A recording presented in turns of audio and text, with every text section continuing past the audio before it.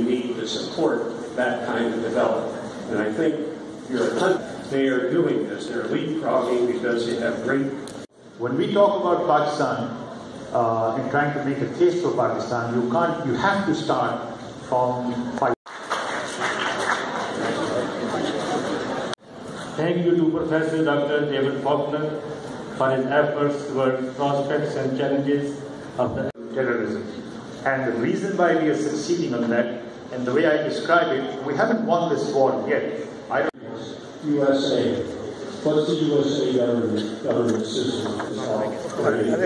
We revolted against the king, got rid of the king, we created a government system. Uh, the average of a number of highly innovative, I can't really remember, I think this is all of Spain, and then the other blue line in here is Extremadura, uh, one of the subparts. He told us that SMEs create jobs, bring income and promote innovations. That's something I really learned today.